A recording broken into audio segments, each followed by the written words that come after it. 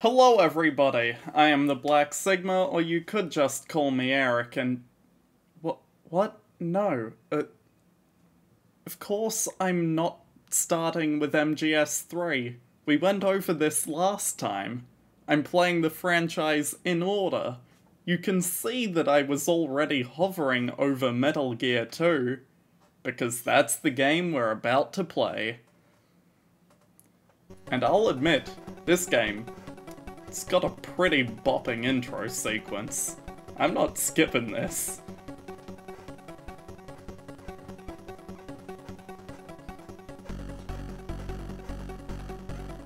That they had no right to put in this much of a bop. But also, showing the actual blueprints for the Metal Gear in this game is some of the best stuff honestly.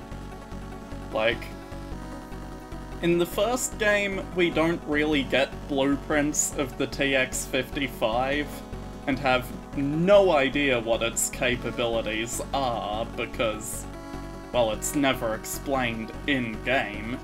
It's just in, like, the instruction manual. You can see the schematics for it. But in this intro sequence, we actually get to see all this stuff. Also, ignore what I am doing right now. I may have forgotten to put the game on my main monitor and was just looking over at the recording screen. yeah. Seeing all the actual specs of the Metal Gear. Like, yeah, this camera. Also, spoilers, we don't know who that woman is. We know who Solid Snake is, obviously, but... Also, scenario, Hideo Kojima. Good old Kojima. Mechanical design, the, the Tomohiro Nishio. I don't know why I'm talking about this. I mean, uh, I didn't read any of the other credits. But also, in a VR simulation, this thing holds six missiles, which, you know, is significantly more dangerous than Rex's, not Rex, TX-55's two-missile tank. Also, it's got a Gatling gun in the middle. Game designed by Kojima. Yeah. This is the Metal Gear D. It's got multiple missile launchers, six nukes, two regular missiles. It's got a Gatling gun in the middle, but this is Metal Gear 2 Solid Snake. Not to be confused with Snake's Revenge. It is the late 1990s. The world is embarking on an age of peace and stability. Wow, that's rare. Relations between the Cold War superpowers have thawed. Regional conflicts are being resolved. The threat of nuclear war is now a thing of the past. you know, the 90s, when we nearly solved nuclear war. But there are some who do not desire peace. Some like Big Boss, who is still alive, somehow. An atmosphere of tension begins to build in the Middle East.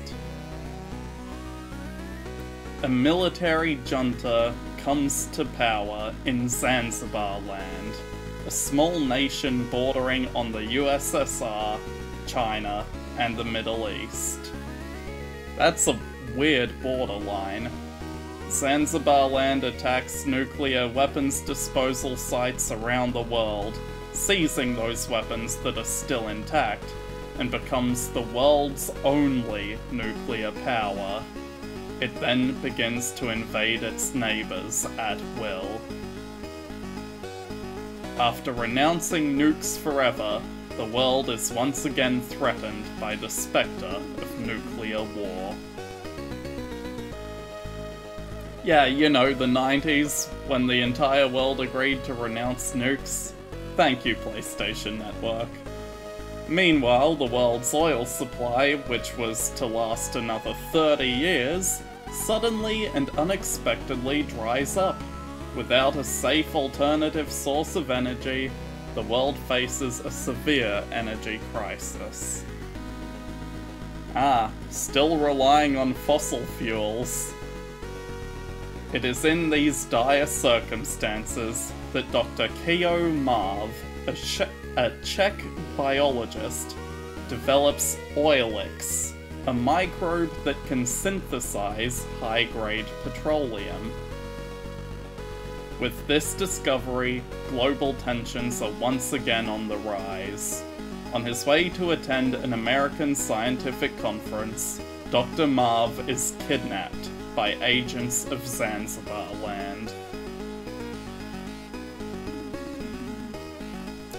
So we discovered an alternative to fossil fuels, making our own.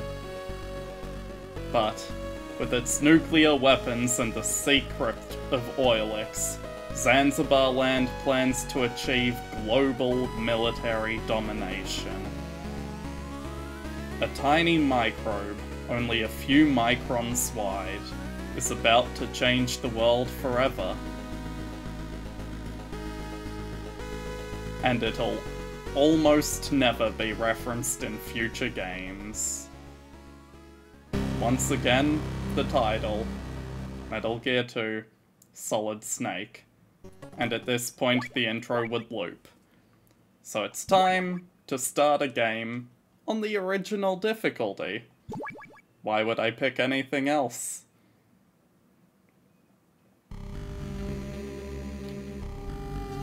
Here comes Solid Snake.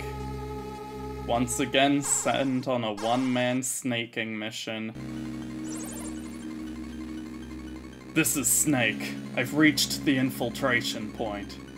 Snake, right on time as always. I can't do a Colonel Campbell voice. Let's get started. Commencing Operation Intrude F014. I think that was FO, not F0, but let's go over the, this mission one more time. Your mission is to infiltrate Zanzibar land and rescue the kidnapped Czech biologist, Dr. Kio Marv. Snake, we've provided you with a new anti-personnel sensor. Try switching it on. Roger, it's on. The white dots on your radar are enemy soldiers. The red dot is your current position. The radar is equipped with several other types of sensors as well. They should warn you of any unseen dangers. Take a look at your radar display. It shows a 9-screen area centered on your position. However, it may not work in small enclosed spaces. Also, if the enemy spots you, you won't be able to use the radar. The enemy will use a jammer to scramble it. Got it. Where can I find Dr. Marv? Well, Dr. Marv has a transmitter implanted in one of his molar teeth. When you get close to him, he'll show up as a red dot on your radar. So I just have to keep an eye out for the red dot. Snake, use frequency 140.85 for all future communications with me. Good luck. Over and out. A one-man sneaking mission, huh?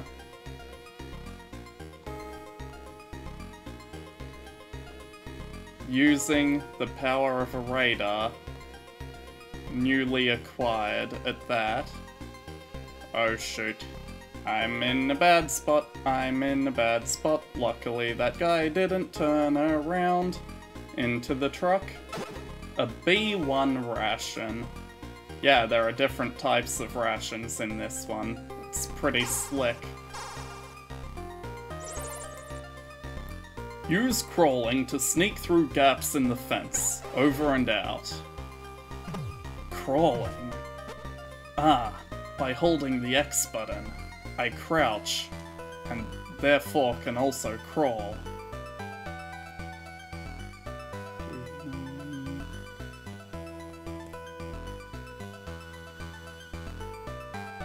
Infiltration of Zanzibar land going relatively smoothly. Ah, crap. Uh, enemies have cones of vision for the first time in the franchise. They don't just see in straight lines like they used to. Glad to have already been spotted on my infiltration. Whew.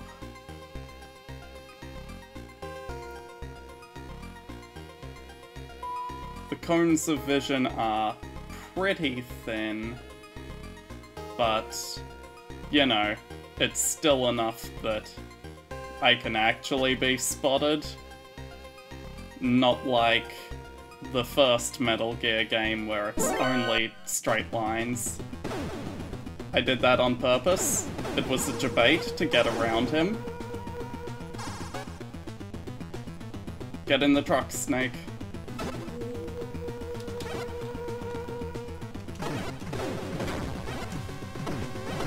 This is fine. This is fine.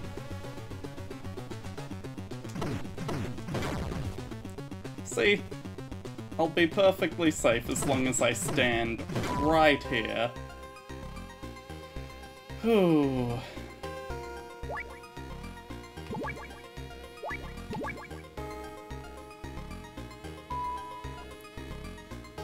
And there's not even... Yeah, all the enemies are off screen, but you can't sneak in through the front door. Use the vents, over and out. Roger that. Using the vents. Ah yes, the classic. Ammunition in a vent. Um... No, I don't want to drop down there.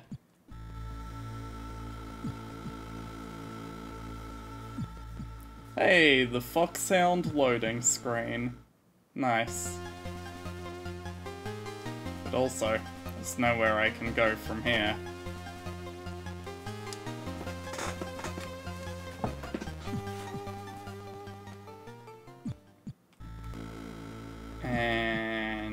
Here we are, on a floor that's actually useful. I'm Holly, Holly White. I infiltrated Zanzibar land a month ago, posing as a journalist. So I know pretty much how things work around here. I'll help you in any way I can. My frequency is 140.15. Call me later.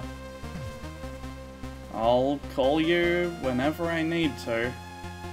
But also, through this door, appears to be a bunch of guards. Can't go in there though.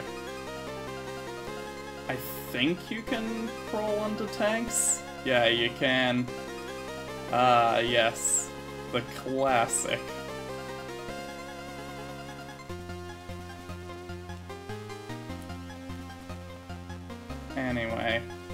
I'm just gonna try and avoid enemy presence as much as I can. Because, you know, I'm not very well equipped at the moment. Uh-oh.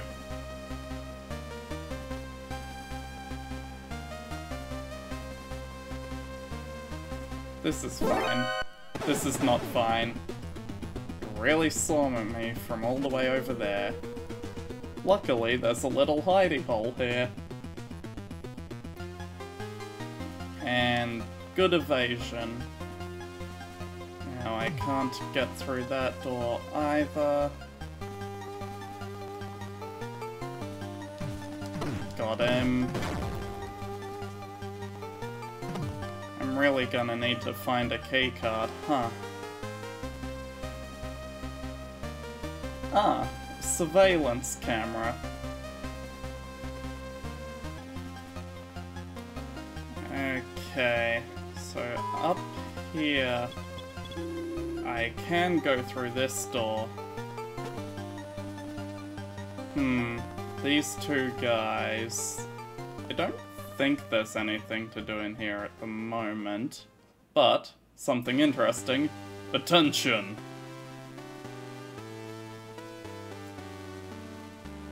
The Zanzibar Land National Anthem. It's beautiful. But also, on screen at the top here, that is a, uh, you know, blueprint of the actual layout of Zanzibar land. Why, why aren't you standing up, Snake? Thank you. But as you can see, there's a tunnel through the basement that leads to the second building of Zanzibar land. I found it, the central elevator shaft. Punch a button and get in there, Snake. Now, we're going up, because I said so.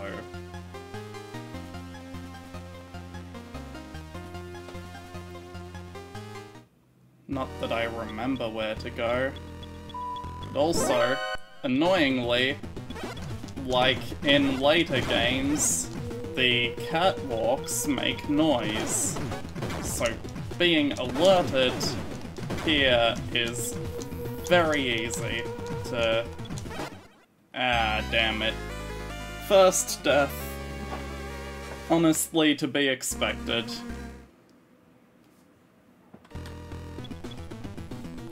Aha!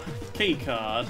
Now I'm just gonna stand in front of this door so I can do the easiest way to get out of evasion. Knocking out anyone who looks for me. Card 1. Nice.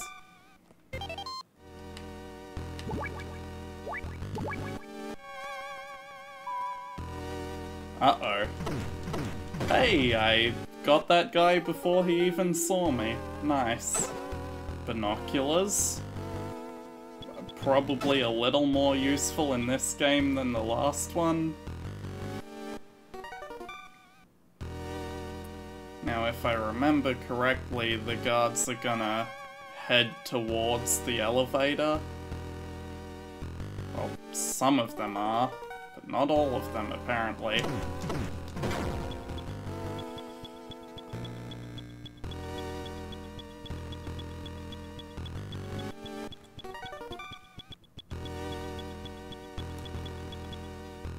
Still, gotta check all around here. There's one door I can't open, my ammo is full, and I think that's every screen checked. So I'm gonna hop in the elevator, and up we go. Oh, this one doesn't go up. It skips straight to the basement one, huh? Right, because one of them is out of order, generally. Well, this is a maze of a floor. Ah, the power of distraction. What was that noise? Oops. Hey, infrared goggles, nice. If only I had done better with my distract the guard play. Hmm, I can go up further in the right elevator. Hmm.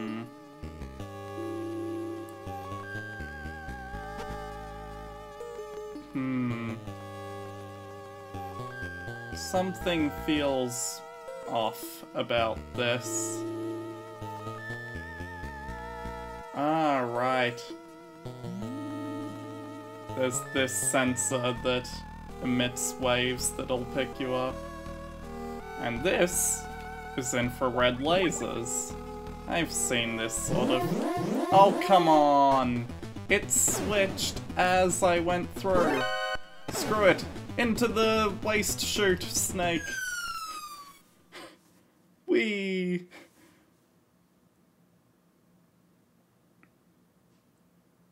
Throwing myself into their garbage disposal was a great idea. Hang on, pick up the... Well, guess I'm not picking up the garbage bag. Oh, I did pick up the garbage bag. And I needed to pull out a key card. Oops.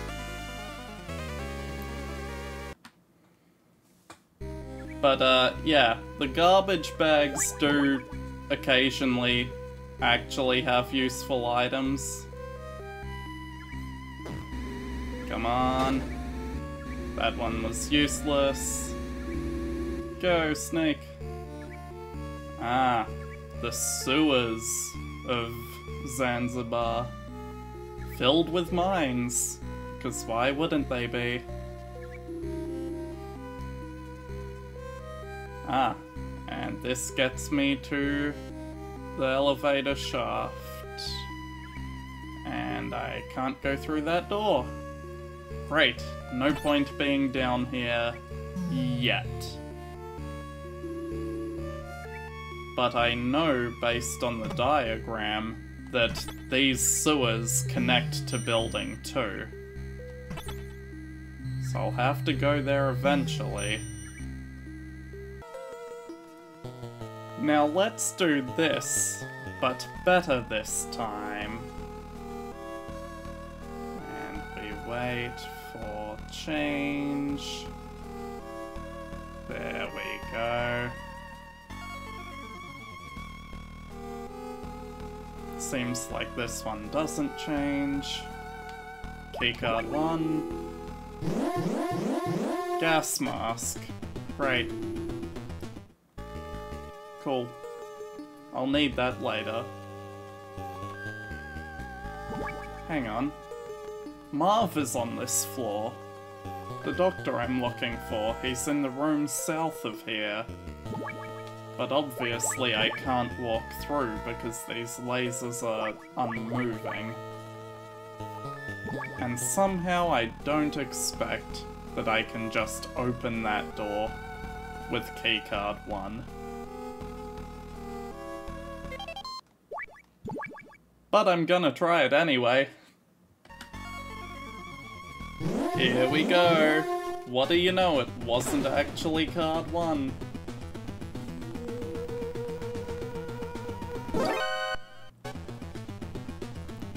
Anyway, checking out the rest of this floor. Ah, there's no lasers or anything as long as we're in evasion status. Bet he doesn't look behind him. Yeah. Good job, dude.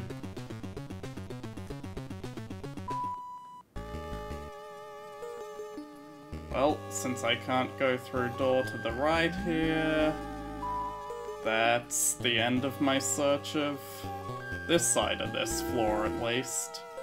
There's still two other doors I can attempt. South door, There's a guard in here. Oh! Hello, gas room.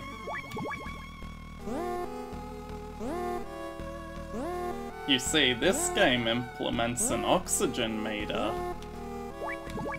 However, said oxygen meter depletes more slowly with the inclusion of... Huh. The, the gas mask slows the oxygen depletion. Meh heh heh, foolish foxhound! Dr. Marv isn't here!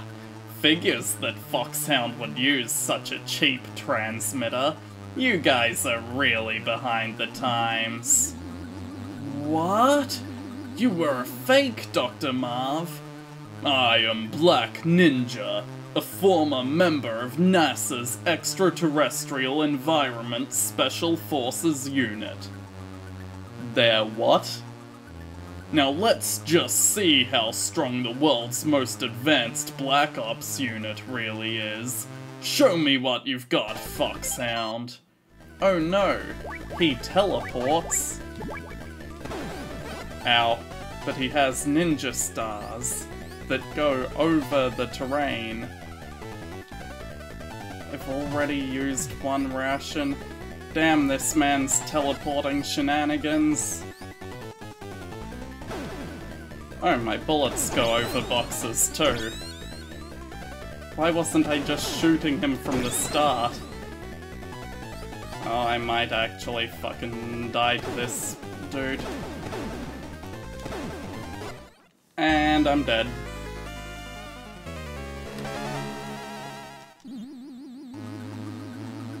Let's try this again a little smarter. Well, crouching is not the smart play. God damn you. Oh, come on. I missed you by like a pixel, man. Damn it. My handgun has a much more limited range than I thought it did. Come on. Tanking a few hits so I can hit him back is honestly probably worth it. He's the first boss in the game. How hard could it actually be? He's getting low, but so am I. Let's go again. This time, not attempting to tank things. Just have to find some time to get good shots in rather than... Uh, God damn it.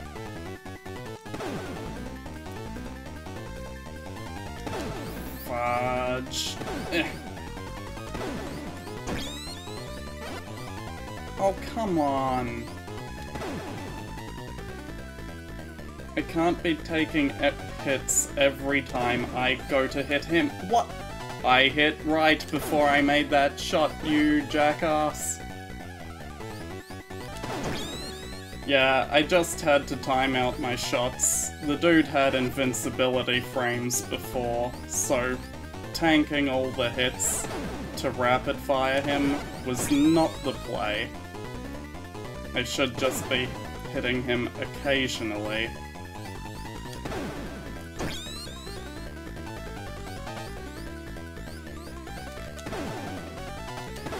Oh, come on, I hit up!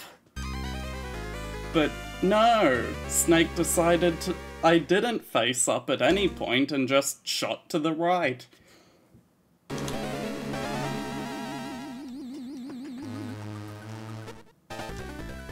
Here we go again.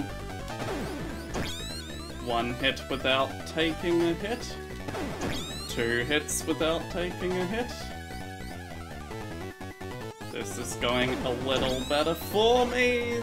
Not perfectly better, but a little. God damn it. What? How did that shot miss? I'm quite certain that went through your character model, sir. It went through your sprite, rather, because it's not 3D models, obviously. What are you doing? What? Hmm, okay, yeah, I was slightly too far to the right on that one. Come on. Got him. Ah, I hit up and Snake didn't face up. Come on, man. He's getting more frequent in his teleports. Oh, okay, I was too far right. Oh, come on! You teleport as I shoot? Come on. Oh, he's going red. That that means he's very low. One more hit? One or two? What? Oh, that was it. Whew. Snake. Who are you? How do you know my name? It's me. Schneider. Kyle Schneider. Remember me? From the Resistance? Back in Outer Heaven? Schneider.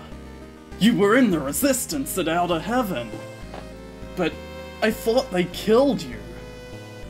You've still got a lot to learn, Snake. I was almost killed, but not by them. By you and your country. What are you saying?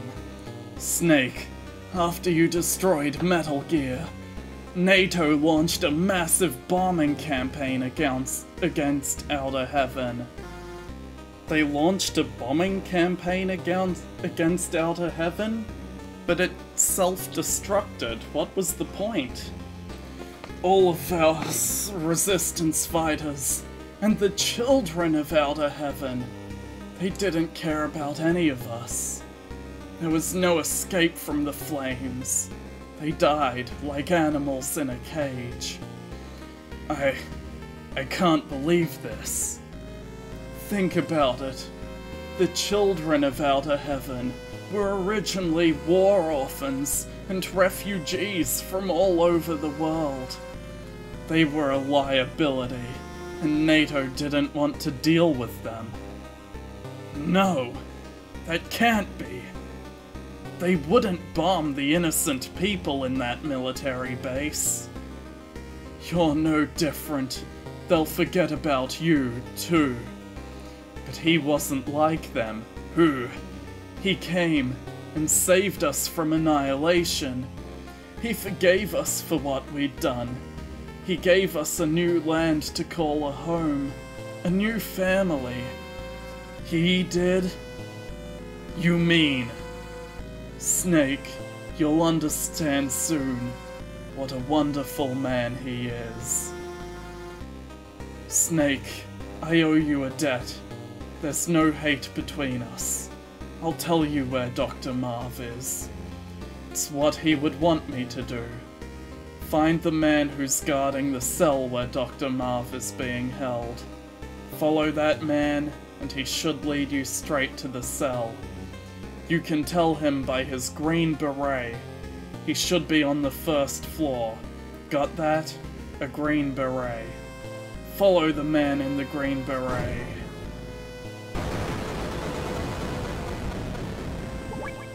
Huh. I can't believe this. My own nation turned against innocent people after I destroyed Outer Heaven? And Big Boss. That must be who he was talking about. Big Boss was the one that saved them? That can't be. Big Boss was my enemy in the end. Could it be that he's a more complex character than I initially believed? I guess we'll find out. Or at least we'll find where Dr. Marv is being held. In the next episode. Bye.